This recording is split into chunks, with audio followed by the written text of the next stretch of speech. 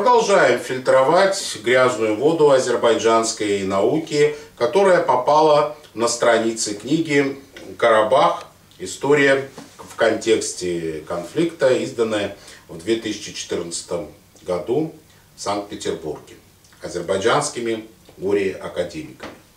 Несмотря на то, что мы делаем это четвертый месяц, тем не менее дошли только до середины, ибо в книге 12 глав, а говорить мы будем сегодня о шестой главе, веренной Мешади Ханум Нейматовой, э, эпиграфические памятники Карабаха. Правда, азероученая не так давно поменяла свою фамилию. Вернее, избавилась от славянского окончания «ова». И теперь она не Нейматова, а Неймат. Видимо, посчитала, что нужно возвращаться э, к корням и избавиться от советского прошлого. Ведь именно русские наделили э, закавказских татар подобными окончаниями во времена включения региона в состав Российской империи. Но если даже в этом причина, то Нейматова и вовсе нужно было отказаться от фамилии и остаться просто э, Мешади Ханум. Ведь ни для кого не секрет, что фамилиями Зактатара наделялись именно благодаря э, тем же русским. Но об этом мы говорили э, в наших э, прошлых лекциях, весенних, и речь сейчас не об этом. Итак, Нейматова – это азербайджанский профессор, член-корреспондент Азербайджанской академии наук, занимается азербайджанской эпиграфикой как бы это смешно не звучало. Ибо если говорить э, именно об азербайджанской эпиграфике, то наука это довольно в Азербайджане молодая, как и сам народ. А все, что Баку считает азербайджанской эпиграфикой, на самом деле армянская, албанская, персидская и даже арабская. Примечательно, что с самого начала главы Нейматова, оправдываясь, э, жалуется, что, цитирую, «Э, рукописных и нарративных источников по изучению социально-экономических и политических вопросов, а также истории Азербайджана крайне недостаточно. Еще бы, а откуда им взяться? Одно из двух либо Азербайджан древнее э, государство, но никто ничего не писал о своем времени, потому что страдали поголовной неграмотностью вплоть до графики, э, либо азербайджанцы молодой народ, от чего и нет рукописных и нарративных источников по изучению истории э, Азербайджана. Третьего не дано.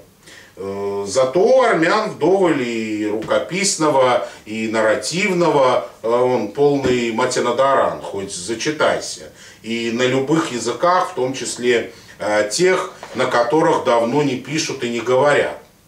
Вот и делайте выводы. Кстати, Нематова, как нынче модно говорить, частенько палилась в своей голове. Первое палево я уже изложил. А вот и второе.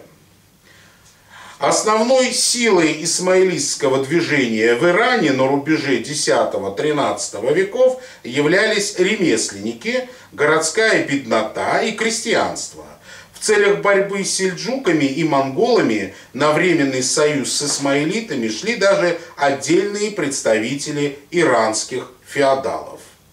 Мне вот э, интересно, перед э, сдачей этих всех очиней сборщику, заказчику. А все эти авторы хоть э, как-то посовещались между собой.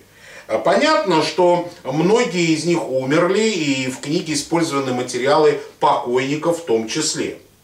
Но живым-то авторам почему не пришло в голову заглянуть на работы своих коллег? В этой же вот э, книге, в пятой главе, Вагиф Периев называет э, сельджуков э, предками азербайджанцев. Но уже в следующей, шестой главе, э, его коллега Нейматова выделяет сельджуков вровень с монголами и выставляет их э, как пришлый э, в регион элемент, с которыми боролись иранские крестьяне, феодалы рука об руку. Не совсем понятно, в качестве кого в этом случае рассматриваются азербайджанцы. В качестве иранских феодалов и крестьян или в качестве сельджуков.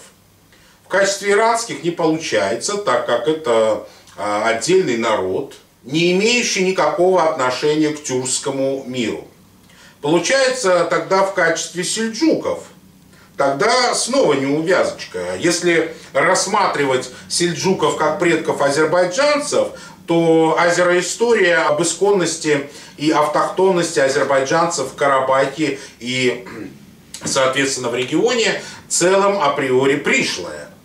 Каждый школьник в шестом классе знает, откуда выходцы сельджуки.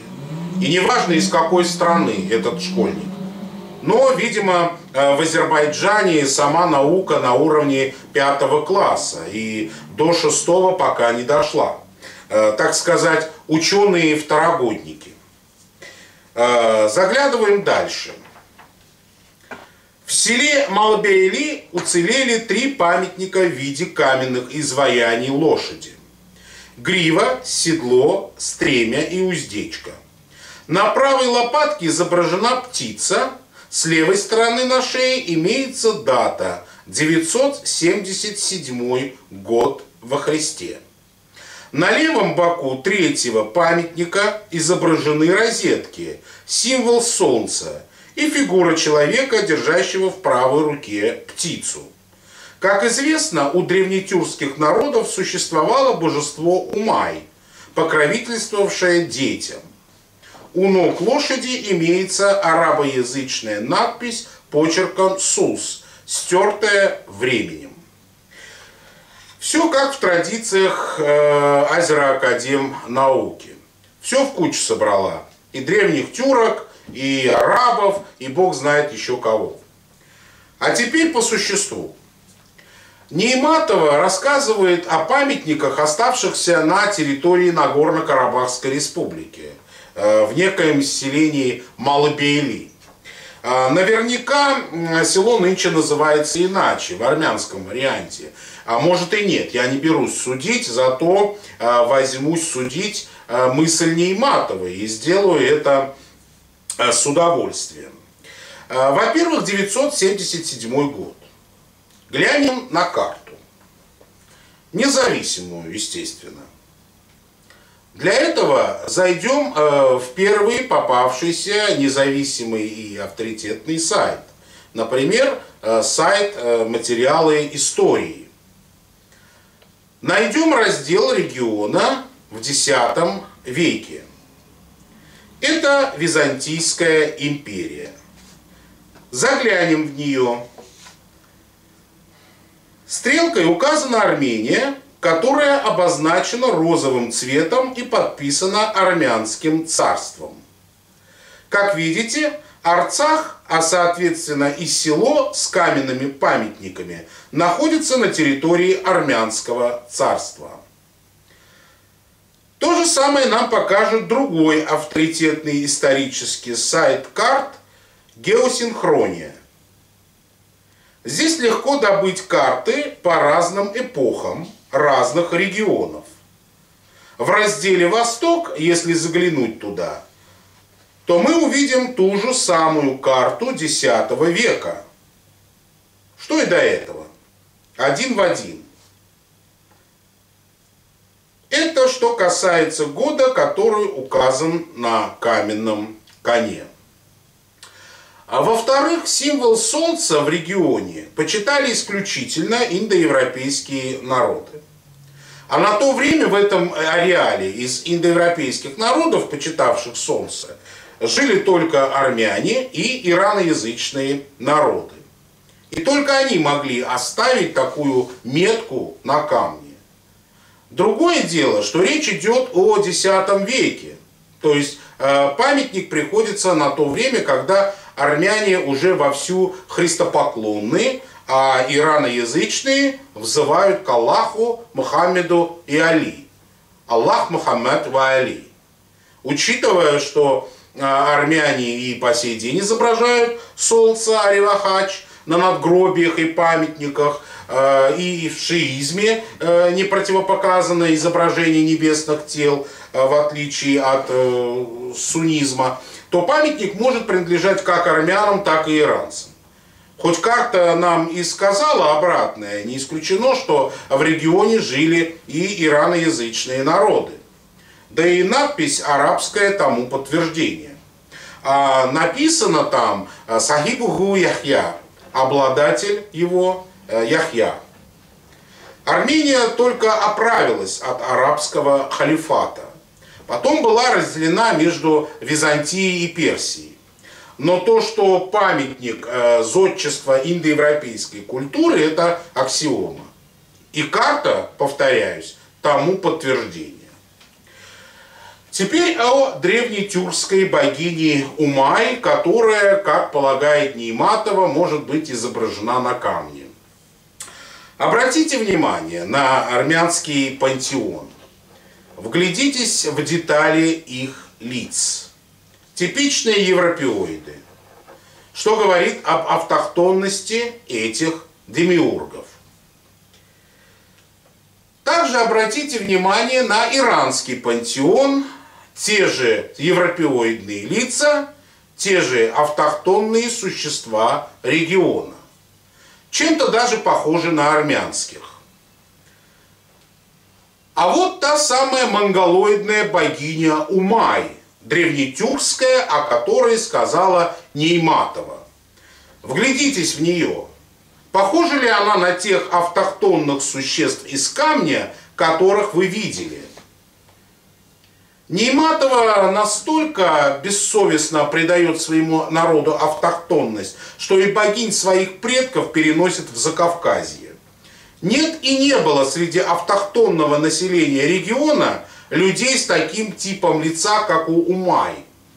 Умай, как и Тенгри, почитались и почитаются в Сибири, на Алтае, э, Дальнем Востоке тюрками и монголами до ламаизма. А некоторые э, тюркские народы Сибири и Алтая до сих пор почитают Умай, там, где она и зародилась изначально. И если кое-кто соскучился по ней, то чемодан, вокзал, Барнаул. Э, вся глава, веренная Нейматовой, как вы поняли, исключительно рассказывает о памятниках так называемого Азербайджана, того, что к северу от Аракса. Э, как правило, большая часть из них э, построена начиная с 15-16 веков. Чаще всего в персидском стиле и арабской вязью. Стиль и вязь точно подсказывают, в какую эпоху и кем. У меня на столе э, книжка очень известного в архитектурных кругах советского археолога и архитектора Александра Леопольдовича Якобсона «Закономерности в развитии средневековой архитектуры», изданная в 1985 году в Ленинграде. Э, книга выпущена и одобрена Академией наук СССР. Э, я бы рекомендовал ее азероакадемикам, когда будут снова браться за эпиграфику. Э, в ней очень много написано об армянской архитектуре, византийской, персидской и очень мало об азербайджанской. А все потому, что автор все уже сказал в персидской. А так как на то время имело место быть Азербайджанская ССР, то сказать чего-то надо было. Тем не менее, почитайте. И, кстати, в книге имеется карта. Обратите внимание, какую страну в регионе вы видите. Верно, это Армения. Азербайджаном и не пахнет. Карта памятников архитектуры 4-8 веков. Наконец, свою главу Нейматова заканчивает следующими словами. Надгробными, э, надгробные памятники с различными бытовыми изображениями, эпиграфическими надписями арабской графики показывают единый быт и высокую национальную культуру азербайджанского народа. Что ж, действительно культура азербайджанская высока. Особенно тогда, когда э, памятники ее подписаны по-арабски, в персидском стиле и на территории исторических Армении и Кавказской Албании.